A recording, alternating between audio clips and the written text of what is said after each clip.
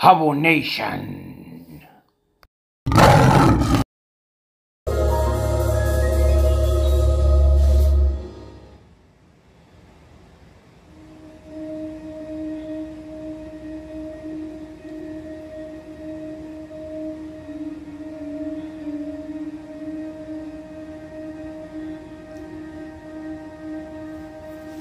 All right, let's get it started. Let's get it started. Good afternoon, good afternoon, everybody. Shalom, shalom. This is your brother Terrance, the man, 6060. Hold it down in Chucktown, the creek.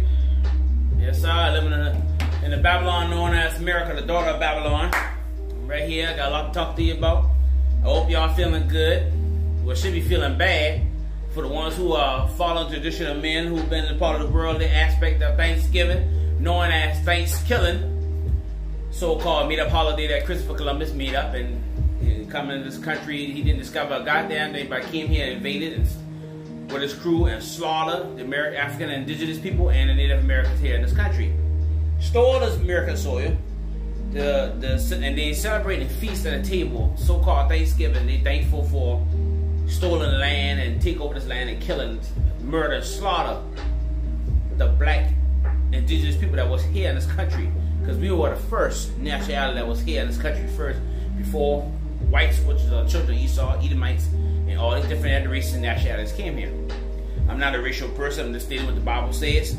The Most High God says that Jacob I love and Esau people I hate. Scripture. Now, there's a lot going on in this world today as people continue to celebrate these pagan holidays People don't want to hear the truth. People want to continue to hear false doctrines. People got itching ears. Like I said the book of 2 Timothy 3 and 4. People got itching ears. People want to hear what they want to hear. They don't want to hear the truth. People rather hear lies than the truth because the truth shall set you free. And people don't want to hear the truth. People will continue living in miserable, fake, lying world and don't want to face the fact about the truth or don't want to seek knowledge of the Most High God. People don't want to know who God is. People say they love God, but they not but their actions, their, their, their, their, their heart say something else. Now, some people, when, when, they, when they drink liquor or get high, when they're not sober, right? When they consume these things, they really allow their true selves come out how they really feel and how they really are. See, people people are Halloween every day. People wear Halloween mask every day, hiding their true self, they hide their true identity you know. But it's a matter of time. Whatever happened to darkness shall come to light. Whoever's in the closet shall be open. The Most High God don't play games. So if you lukewarm Christians, get yourself together. Get back on the holy fire and holy armor of God. Now, I'm not saying perfect. I fall short sometimes. I do my best not to be lukewarm. If I happen to fall short, I repent and ask the Lord for, for forgiveness for my sins and do right and do better in my life. Because we live in a time where we got to, as children, we got to stay strong. We got to be sober and vigilant. And we got to humble ourselves and continue to seek the Most High God, continue to seek knowledge, and not be part of tradition of men, not be part of this world. Because right now, we just passed Thanksgiving, so called Thanksgiving, Thanksgiving. Now we got Christmas, Xmas, which is horrifying. It's a third sequel to Thanksgiving and Halloween. Another major, huge pagan holiday the last holiday of the calendar year of 2023, but we already know the real New Year's, the springtime, spring equinox going towards pagan Easter and the real resurrection of Passover, not Easter. So um we got a lot of lot of people like to do arguments and debates and start confusion, cause confusion. You know, like I said in my last broadcast just moments ago, part one, about people getting crazy when it comes to wrestling entertainment known as WWE Entertainment. And people like to be entertained, and people like to argue and fuss over sports, knowing that it's all about politics and money. You know what I'm saying? It's, it's scripted. They, they, book these things for who will win and lose. They book these things in NFL for who win the championship Super Bowl. They book these things for who to win the NBA championship, National Basketball League. And NBA, it kills me to see guys like LeBron James and, and some of these athletes they, they, they, they get they surrender themselves for money, do anything for money, they clout and fame. They'll put on a dress on for money. Because they want to get popular, they want to get rings, they want to get clout and live. And, and it's just so sad that people they don't they don't realize the consequences that they'll suffer in the spiritual room. The Bible says we wrestle not against flesh and blood, but principalities, spiritual wickedness in high places. That's in book Ephesians 6 to 12. We got to understand. If you still think that we wrestling against flesh and blood and human beings, then you're wrong, baby. You can't always think about things physical. We are, we are, the soul powers the body. We are human spirits. wrestle against spirits. So if you, you consume alcohol, you get high, or you, you're chosen when you, you you're fornicating, you adult, commit adultery, or hang around with somebody who's a jealous spirit. You hang around somebody who is a who's a demonic spirit. You hang around somebody who is who are just miserable. Remember, misery loves company. Unequally yoked, as I said, the book of Corinthians. You can't be unequally yoked with, with some folks, man. Light cannot mix with darkness. You are the light unto them. And sometimes evil people would love to be around you, be around you because they want to they are energy vampires. They want to absorb your energy. They want to take all the energy away from you and bring negativity in your life. So you got to understand this time here, we got to pray, pray, pray, fast, humble ourselves. We got even if we got to take time away from social media, which I plan on doing. I plan on going straight. Um, starting this week here, starting December first. I'm gonna do a lot of inventory in my life starting today. I'm gonna cut some people off, people who who are not benefiting me, people who are not um, educating me to do better in the biblical terms, or educating me to do better spiritually with the Most High God, or you know, trying to help me get better. But they want to continue to be with the world, continue with a party, commit adultery, try to get me back in sin. I, I can't be in that kind of lifestyle. I got to move forward. I got to get right for the calendar year 2024, and most importantly, I got to get right for the Most High God today because there is no tomorrow. You know, there's so much going on in this world. And, and one day I'm mad about, very upset about, is Snoop Dogg. Snoop Doggy Dogg, known as Snoop Lion, Snoop Dogg, whatever people call him. He said that he would stop smoking weed, stop doing drugs. But he did all that just for commercial for a smokeless fire pit or fire pot, whatever he's trying to sell. And a lot of elderly people, you know, took him serious because they thought he was going to stop smoking weed. They thought he would stop doing this, do that. But he's still doing it. He did all that for commercial clout and fame to sell a product. Snoop Doggy Dogg, let me say to you, brother. Um, you might be a hip hop legend of this world.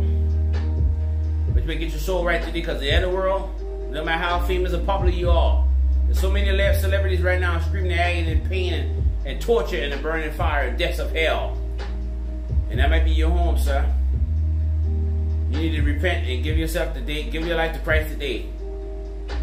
So, we now ain't supposed to be smoking weed anyway. Weed, yeah, it's used for medical purposes, but we're not supposed to smoke it. Okay?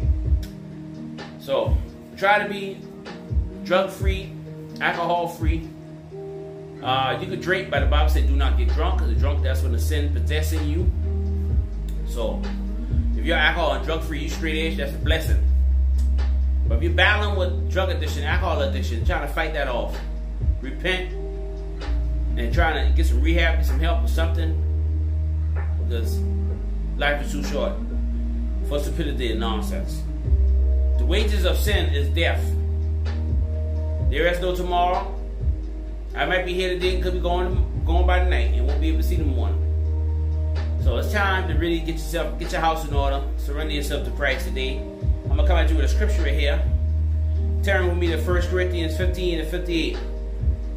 1 Corinthians 15 and 58 says that, Therefore, my beloved brethren, talk about us, Jews, his Hebrew Israelites, by ye steadfast, unmovable, always abounding in the work of the Lord, the Most High Yah, Yahweh HaMashiach, for as much as ye know that your labor is not in vain in Yahuwah HaMashiach, in the Lord.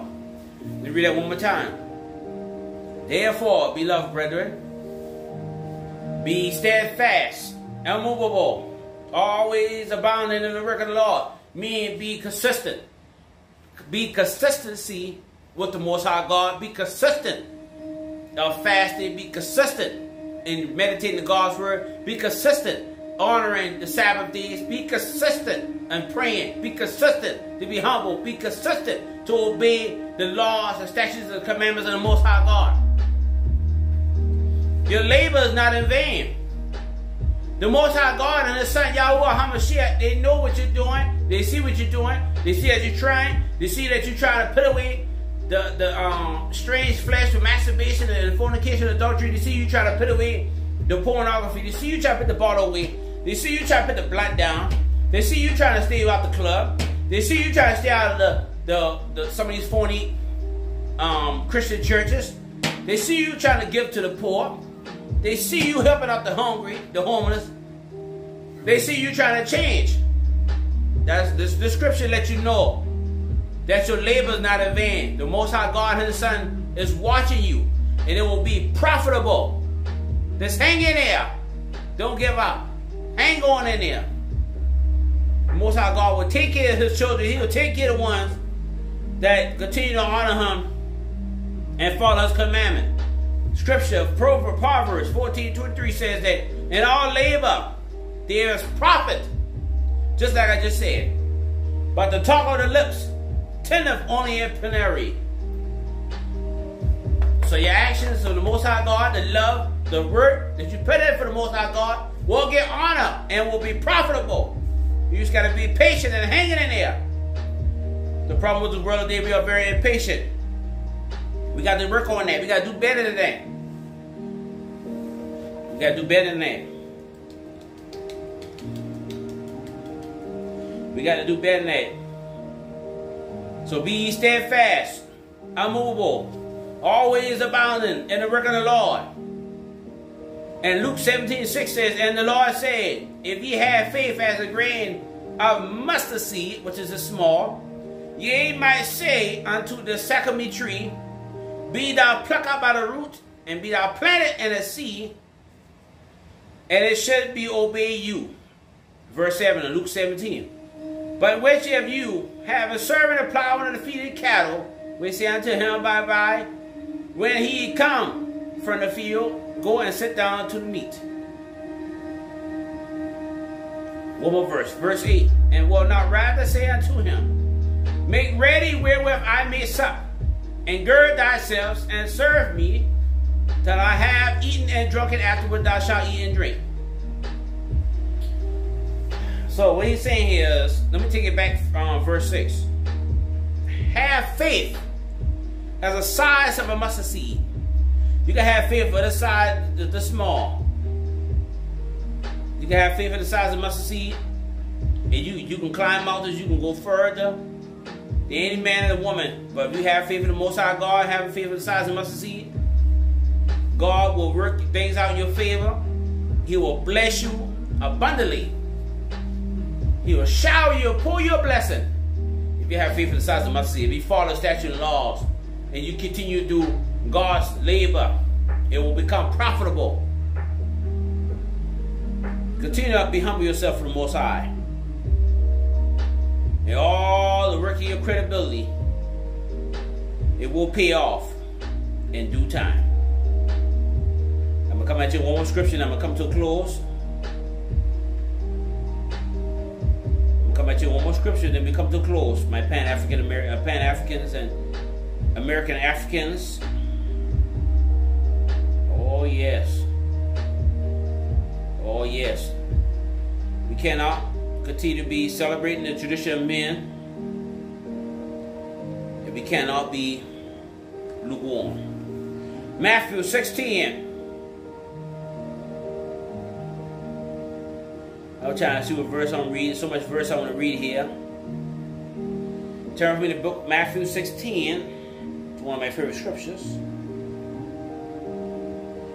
16 and 24. Matthew 16 and 24 says, Then Jesus, Yahuwah, unto his disciples said, If any man will come after me, let him deny himself. Like I said, the book of Second Chronicles 7 14, right? Let him deny himself and take up his cross and follow me. So if you're follow the Most High God, you need to deny the flesh, inherit the spirit, take up that cross, and follow the Most High God. Follow Jesus Christ. Follow Yahuwah HaMashiach. Follow Him. And not let not let get fall out with the sins of this world. And 25 says, For whosoever will save his life shall lose it. And whoever will lose his life for my sake shall find it. Enough said. That's scripture. Come on now. You got to deny the flesh. If you if you so-called love the most high God, your heart and your action will say so. Your labor will not be in vain. It will be profitable. It will be honorable. But a lot of us are playing.